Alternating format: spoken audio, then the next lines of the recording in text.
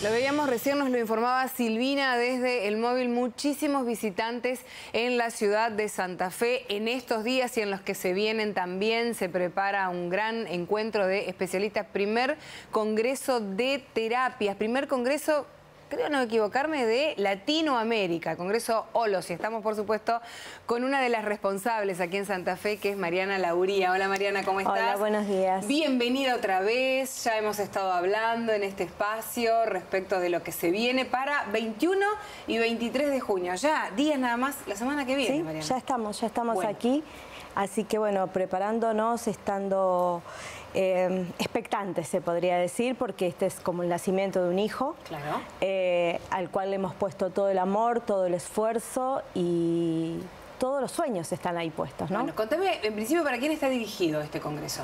Bueno, mira, el congreso está pensado para absolutamente todos.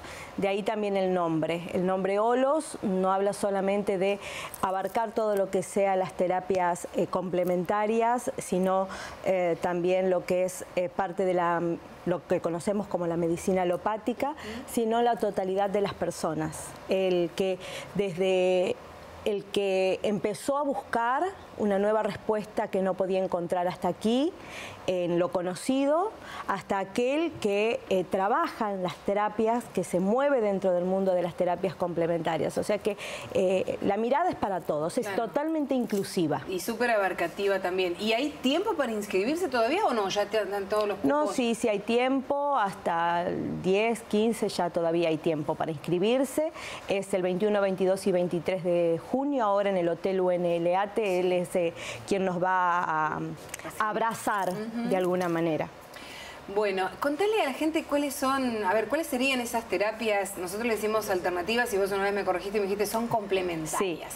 Bueno, contale ¿Qué sería? ¿Qué, tipo de herramientas serían esas? Bueno, mira, básicamente son herramientas, em, si bien cada una en una disciplina diferente, eh, todas eh, llevan a el autoconocimiento, a esa mirada del ser interno que cada uno tiene, donde se encuentran todas las respuestas a lo que nos sucede en el día a día.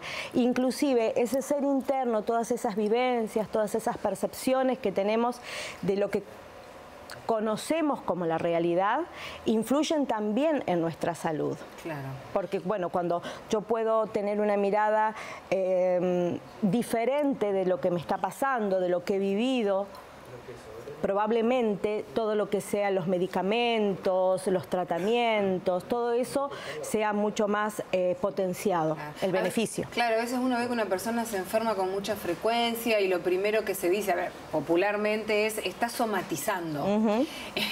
Eh, no sé qué hay de cierto, qué hay de verdad en eso, o es un mito, una creencia. No, en realidad no es un mito y no es una creencia. Esto, de, si lo vemos desde Carl Jung hasta aquí, eh, se ha ido como manifestando manifestando este este conocimiento de que dentro del ser suceden cosas y esas cosas que suceden tienen que ver con la percepción que ha ido tomando del mundo externo. Las vivencias que ha tenido, su infancia, lo han marcado de determinada manera. Por ejemplo, a ver, de un mismo paisaje que veamos nosotras dos, Dos las dos distintas. no vamos a ver lo mismo. Entonces, la percepción es otra, la interpretación es otra y el, anclaje interno es otro. Mm. Entonces, eh, a esto es a lo que abocan las terapias complementarias, a poder colaborar desde ese lugar. A través de las terapias, de una, consulta, ¿no? Uno, ¿Uno puede curarse? ¿Uno puede mejorar la salud? Mira, eh, si hablamos de curarse, estamos hablando de un término eh, demasiado grande. Yo iría, sería más prudente y diría que a través de las terapias complementarias vamos a colaborar eh, amplia y profundamente en lo que es la reconciliación de esa percepción que yo tengo de afuera con lo que es la realidad. A partir de esa reconciliación interna, yo estoy abierta a una sanación. ¿Qué es la sanación? todo depende de uno también, ¿no? De ¿Y qué es la sanación? por allí ese mensaje. ¿Y qué es la sanación, no? Mm. La sanación creo que es el estado de mayor equilibrio de todas nuestras partes. Y nuestras partes son cuerpo, mente y espíritu. Esa es el OLOS. Claro. E, estas terapias que ustedes plantean, que ustedes hacen, em, ¿siempre, indefectiblemente, están acompañadas por la medicina tradicional? Mirá, eh, eso es a criterio de cada persona, por supuesto, pero eh, a ver, la medicina tradicional nos mantuvo vivos hasta acá y nos seguirá manteniendo vivos. A ver, hay un cuerpo físico al que hay que respetar, al que hay que cuidar, hay profesionales médicos, hay psicólogos, hay psiquiatras que han estudiado, que estudian y, y que son una parte fundamental de todo esto. Lo que vienen a hacer las terapias complementarias es traer otra mirada, a incluir otra parte que tiene que ver con el espíritu. ¿Qué pasa con los médicos así este, tradicionales, la medicina tradicional que nosotros conocemos? ¿Se suman a esto, lo aceptan, de a poco van interesándose o todavía siguen reticentes? Bueno, mira, en Olos tenemos la fortuna, el lujo, el honor, digo yo, de tener como integrantes dentro de los disertantes a un médico, que es el doctor Diego Pailole, por ejemplo, él es cirujano. Eh, tenemos dos psiquiatras, tenemos una psicóloga, o sea, eh, es como si mm, lentamente o cada uno a su tiempo se va permitiendo incluir esta otra mirada que no quita la otra, simplemente la enriquece. Suma.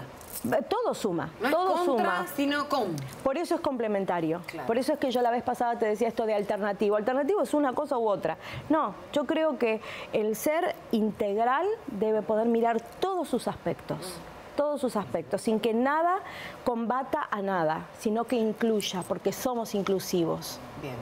Una de las personas que, va a llegar a este primer congreso de OLOS es el doctor Diego Pailol. Estábamos tratando de comunicarnos eh, telefónicamente con, él. Bueno, es un profesional médico, un cardiólogo este, reconocido de la ciudad de Rosario. Tenemos un inconveniente con, la comunicación, pero bueno, bien vale este, reconocerlo acá, traerlo a la, conversación y decir que él también va a estar eh, estos días, desde el 21 hasta el 23. ¿Con qué otros profesionales? Mira, eh, va a estar la señora Gabriela Rodríguez ella es discípula de Jodorowsky, los que estamos dentro del mundo de las terapias complementarias, todos conocemos a Alejandro Jodorowsky, que es... ¿Quién es Jodorowsky? Así rápido. Jodorowsky es un psicomago. Ah. Es alguien... ¿Psicomago? Es un psicomago, él se llama así, él hace psicomagia dentro, desde la psicogenealogía, es realmente una persona para escuchar. Em, luego tenemos a Mario Domínguez, que también es psicóloga, ella viene a traernos eh, las constelaciones sistémicas chamánicas, discípula de un austríaco impresionante. Se hacen muchas constelaciones últimamente. Sí, sí, sí, sí, sí, sí, sí, sí. Las constelaciones, yo soy constelador y te puedo decir, son el método más rápido para poder ver la raíz del conflicto, eso que no podemos ver a, simple vista. Pero bueno, después estará el doctor Diego Pailole con medicina psicobiológica, eh, trayéndonos esta otra mirada desde la medicina germánica. Luego estará la psicóloga Larisa Mitchell, que viene desde Chile, a traernos la terapia, una terapia integral que es cognitivo-corporal, que es de su creación. Eh, luego tendremos a Juan Pablo Caivano, que viene a traernos el método ciclopia de conexión pineal, que es un método de la señora Fresia Castro. Bueno, son un montón. Somos un montón, sí. Listo, por lo menos nombramos algunos. Nos quedamos con las ganas de hablar con el doctor Pailole, pero va a ser la próxima vez. Seguro. Siempre, seguro. siempre ver una próxima vez contigo, Mariana. Muchísimas gracias y éxitos. Éxitos con el Congreso. Dale, muchísimas gracias y feliz día a todos. Muchas gracias, muy amable. Hasta la próxima.